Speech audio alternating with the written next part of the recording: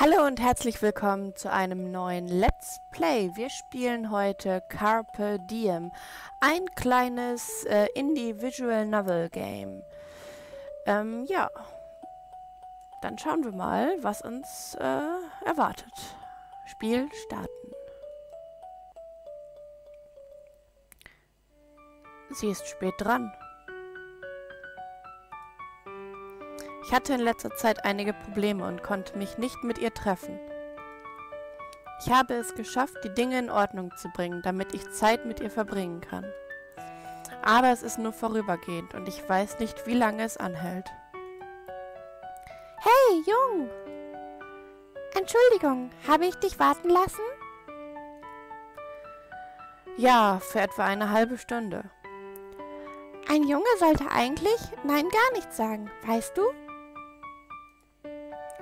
Das wusste ich nicht. Von dieser Änderung in der Gesellschaft hat mir niemand etwas gesagt. Sie haben sich die Mühe nicht gemacht, weil sie wussten, dass du es sowieso nicht befolgst. Stimmt genau. Also, wohin willst du gehen? Oh, okay, jetzt haben wir die Entscheidung Einkaufszentrum, Park oder Spielhalle. Ähm, gehen wir mal in den Park. Lass uns einfach eine Weile hier entspannen. Du bist nur zu faul, um zu gehen, oder? Aber was ist das denn für eine? Boah, die geht mir jetzt schon auf den Sack. Du kannst mich ertragen, wenn du willst. Das ist auch okay. Na, es ist schön hier. Lass uns den Park genießen. Du bist nur zu faul, um mich zu tragen, oder? Ha, gut gekontert. Nice, nice. Ich schätze, da haben wir eine Sache gemeinsam. Hier ist ein guter Platz, um zu sitzen. Ich bin überrascht, dass es ein wenig kühl ist, obwohl die Sonne direkt über uns ist. Ja, du bist ja auch irgendwie sehr leicht bekleidet, Mädchen.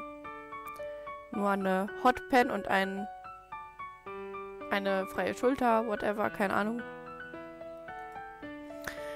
Ja, ein wirklich tolles Wetter.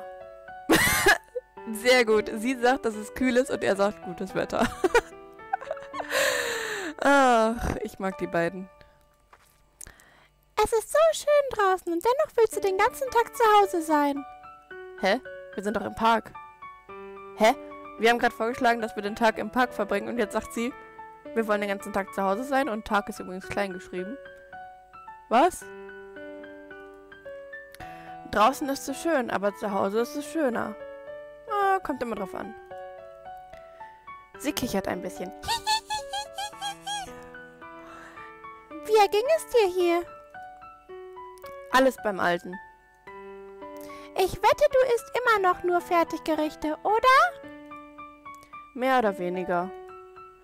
Komm schon, Jung. Was für eine Ernährung soll das sein? Es ist okay. Du lernst sowieso für mich zu kochen. Alles klar. Was geht denn da? Sicher, ich werde dir mein Spezialgericht servieren. Verbrannte Reisbällchen? Ja, jeden Tag. Oh mein Gott. Du wirst mich umbringen. Wir haben uns so lange nicht gesehen, es gibt viele Dinge, die ich erzählen und fragen möchte. Und ich weiß nicht einmal, wo ich anfangen soll.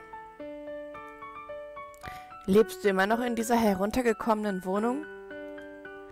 Ja, aber es ist besser geworden. Es wurde teilweise renoviert. Ich mache mir aber Sorgen um die Leute, die dort wohnen.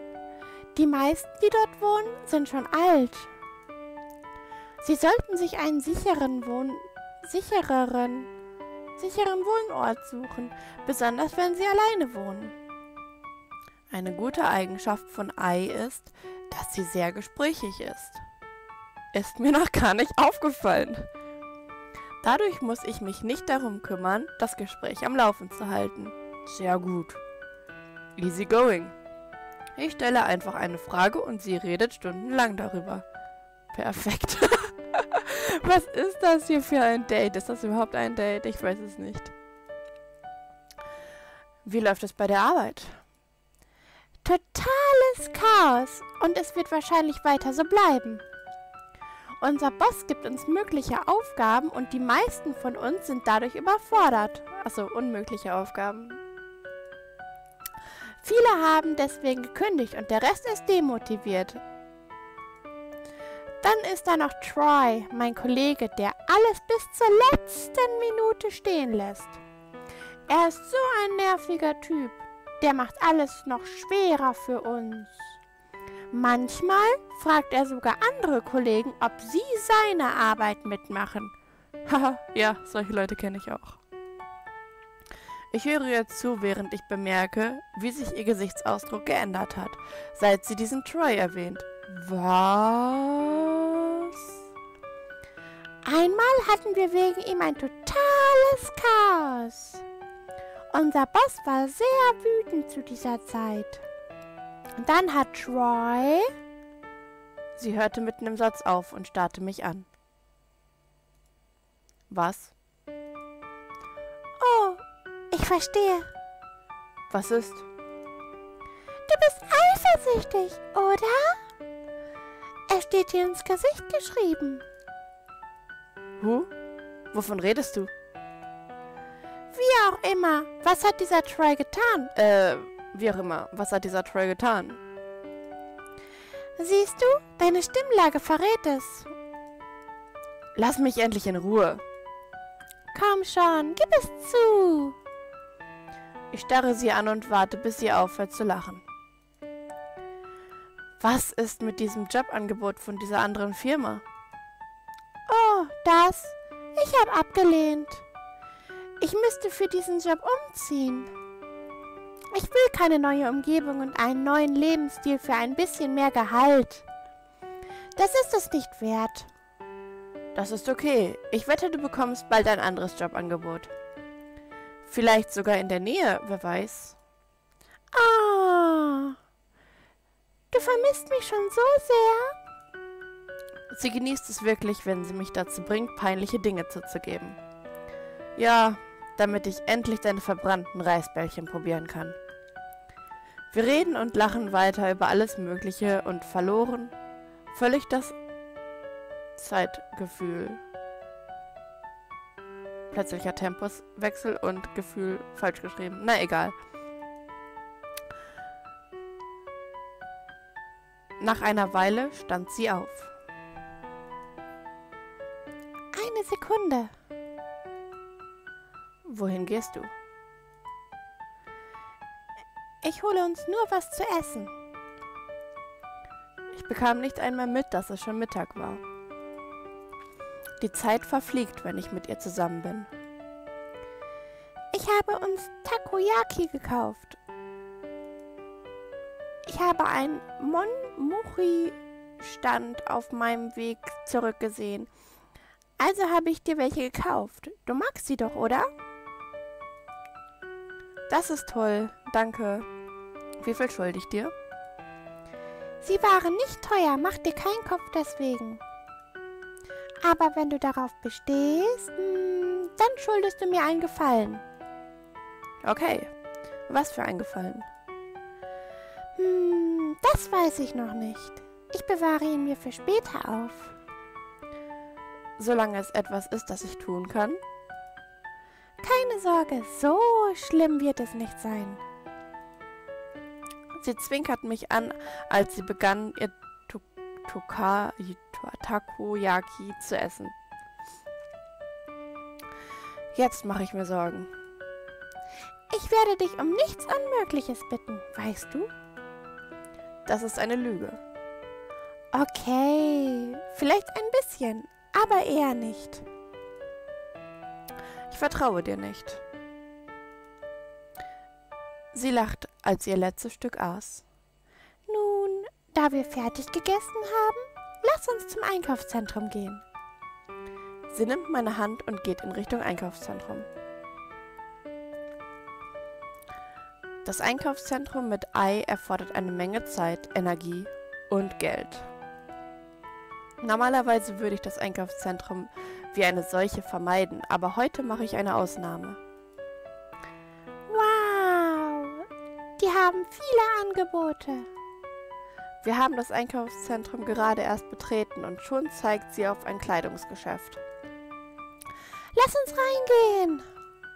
Sie zieht mich zum Geschäft und beginnt jedes Kleidungsstück aufmerksam zu begutachten. Wie ein Detektiv, der nach Hinweisen sucht. Sie nimmt ein weißes Kleid mit Blumenverzierung auf der unteren Hälfte. Eine Sekunde! Sie geht in die Umkleide, um es anzuprobieren. Wie sieht es aus? Äh, Mädchen? Mädchen? Du hast noch genau das gleiche an wie gerade auch. Hm. Schade, dass das nicht, äh, naja, okay. Es ist schwer für mich, diese Frage zu beantworten, weil ich keine Ahnung von Mode habe. Ich bin der Typ Mensch, der einfach alles anzieht, was ihm passt. Immer wenn sie mir diese Frage stellt, verlasse ich mich auf das magische Wort. Süß. Ich finde es süß. Sie sieht in den Spiegel. Wirklich? Ist es nicht ein wenig schlicht? Puh, ich fasse mir mit meiner rechten Hand an mein Kinn und tue so, als würde ich das Kleid noch einmal genau analysieren. Ich finde es süß. Ich werde es nehmen. Sie geht in die Umkleide, um es auszuziehen. Dann geht sie zur Kasse, um es zu bezahlen. Ist das alles, was du von diesem Geschäft brauchst? Ja, so ziemlich. Die haben sowieso nicht viel. Wir gehen weiter im Einkaufszentrum umher. Sie ist wie ein Stück Metall, während die Geschäfte starke Magneten sind. Immer wenn wir gehen, driftet sie langsam in Richtung eines Geschäfts ab, manchmal ohne es selbst zu wissen. Hey, Jung, das passt dir gut. Sie hält ein Shirt mit Spinnendruck hoch. Ich brauche keine neuen Klei. Ich kaufe es für dich. Ich ziehe es nicht an. Sie hält ein anderes Shirt hoch. Da, ich werde eines für mich selbst kaufen, damit wir im Partnerlook gehen. Ich trage es mit dir. Das ist nicht das Problem. Ich weiß, dass es keinen Sinn hat, wenn sie sich erstmal etwas in den Kopf gesetzt hat. Während sie für die Shirts bezahlt, schaue ich mich um und sehe ein Computergeschäft. Lass uns dahin gehen, wenn du fertig bist. Ich zeige mit meinem Daumen darauf. Ja. Du sagtest, du brauchst etwas? Ja, und ich will sehen, ob sie ein paar günstige Teile haben. Besonders Festplatten. Das Programm, das ich entwickle, ist größer, als ich erwartet habe. Sie folgt mir leise in das Computergeschäft. Nur ein paar Sekunden und ich bin bereit, für meine Sachen zu zahlen. Das war schnell. So sollte jeder einkaufen. Na, du überprüfst nicht einmal, ob sie funktionieren, bevor du sie kaufst? Dafür gibt es Garantien. Ich gehe zur Kasse und bezahle. Wohin willst du als nächstes gehen? Ich habe da ein Spielzeuggeschäft gesehen. Lass es uns ansehen. Wir betreten das Geschäft und Ei geht sofort zur Plüschtierabteilung. Schau, wie niedlich. Die sind äh, schau, wie niedlich die sind. Ich will sie alle haben. Nimm sie ruhig alle, solange du das Geld dafür hast. Toller Spruch. Was? Ich dachte, du bezahlst. Träum weiter. Ich mach nur Spaß. Hihihihi. Aber ernsthaft, die sind so niedlich. Ich frage mich, was ich nehmen soll. Während sie damit beschäftigt ist, ein Plüschtier auszusuchen, gehe ich in den nächsten Gang, wo die Schlüsselanhänger sind. Ich habe einen Schlüsselanhänger mit einer Spinne gesehen. Ah, sie würde das lieben. Ich gehe schnell zur Kasse, um dafür zu bezahlen. Dann gehe ich zurück zu Ei, die noch immer nicht weiß, was sie kaufen soll. Hey, Ei, ich habe etwas für dich gekauft. Ich zeige ihr den Schlüsselanhänger. Das ist so süß. Das hättest du nicht tun müssen. Schon okay, es war sowieso nicht teuer. Sie scheint sich wirklich über den Schlüsselanhänger zu freuen. Während wir weitergehen, entdeckt Ei ein Büchergeschäft. Hey, lass uns eine Weile hier bleiben. Ich wusste nicht, dass du gerne Bücher liest. Nun, nicht diese Art von Büchern. Ich habe angefangen, mich fürs Kochen zu interessieren. Verstehe. Du, siehst, du suchst nach Kochbüchern? Ja. Was für Gerichte magst du? Ich werde irgendwann versuchen, für dich zu kochen. Bœuf Bourguignon? Wow, chill. Warum fängst du nicht mit etwas wie Eier und Speck an? Warum fragst du mich dann überhaupt? Sie lächelt, als sie drei Kochbücher für Anfänger aus dem Regal nimmt. Während wir gehen, hören wir ein paar Leute über ein heute Nacht stattfindendes Feuerwerk sprechen. Feuerwerk? Du hast es auch gehört? Ich möchte es sehen. Ich hole mein Handy heraus, um nach Informationen zu suchen. Oh, das ist es. Was denn? Schon seitdem ich ein Kind war, gibt es zu dieser Zeit des Jahres ein Feuerwerk. Wirklich? Können wir hingehen? Sicher, beeilen wir uns. Ich kenne einen guten Platz. Wir müssen ein Stück gehen und wir müssen den Hügel hinauf. Die Sonne geht gerade unter, als wir ankommen. Also wurde es langsam dunkel. Oh, gut. Es sind nur wir hier. Wow, du hast recht, das ist ein toller Platz. Nicht wahr? Wir sitzen auf einer Bank und warten auf die Show. Nicht lange später kann man die ersten Raketen in den Himmel fliegen sehen. Die Lichter blühen wie eine Blume mit unterschiedlichen Farben auf und verblassen langsam. Man kann das Jubeln der Menschenmenge vom Fuße des Berges hören.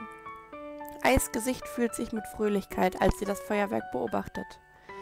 Ich wünschte, dieser Moment könnte ewig anhalten. Aber mir läuft die Zeit davon. Sie sieht mich traurig an. Plötzlicher Musikwechsel. Okay, was passiert jetzt? Es ist Zeit, nicht wahr? Fast. Keine Sorge, es wird nicht lange sein.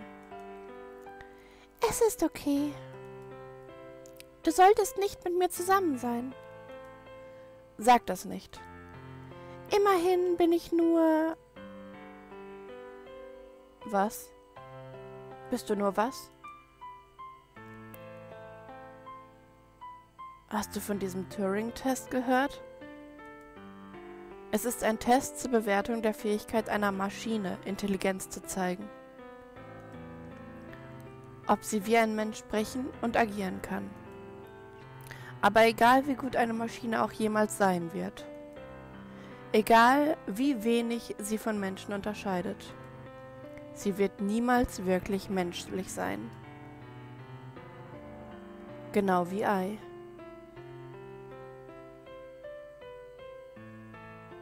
Ah, künstliche Intelligenz. Hm. Egal wie gut ihr Programm ist und egal wie sehr ich es leugne, sie wird niemals real sein. Wir leben nicht in derselben Dimension und Realität. Sie wird weiterhin nur in der Welt, die ich geschaffen habe, existieren. Ah. Das Programm ist wieder abgestürzt. Wie erwartet konnte ich nur so weit gehen. Ich muss wirklich bald einen stabilen Fix für das Programm entwickeln. Was mache ich mit meinem Leben?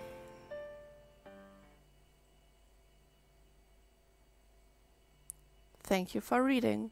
I would like to thank everyone who supported this first visual novel project of mine. I hope to see you again on my next projects. Etsy, Etsy, Etsy. Okay. Das war also Carpe Diem, nutze den Tag. Mm, gut, so viel äh, Spielraum war da jetzt nicht. Es war wirklich mehr eine ähm, determinierte Geschichte. Das Einzige, was wir überlegen konnten, war am Anfang die Sache mit dem Park. Alles andere lief dann einfach von selbst. Trotzdem äh, eine sehr schöne Geschichte über künstliche Intelligenz, über jemanden, der scheinbar künstliche Intelligenz geschaffen hat, sein Leben damit verbringt. Doch, eine schöne Geschichte irgendwie. Mit interessantem Plot-Twist. Am Anfang dachte ich, okay, ähm, ein Typ, der halt ein Mädel trifft, keine Ahnung, ein Date oder whatever. Mm. Aber das Ende dann doch überraschend für mich. Okay, ähm, wenn es euch äh, gefallen hat, lasst äh, einen Daumen oben da. Das Spiel gibt es bei Steam. Glaube ich sogar gratis. Also, äh, ja, holt es euch, wenn es euch gefallen hat. Und wir ähm, sehen oder hören uns dann hoffentlich bei einem nächsten Let's Play. Bis dahin, macht's gut und ciao.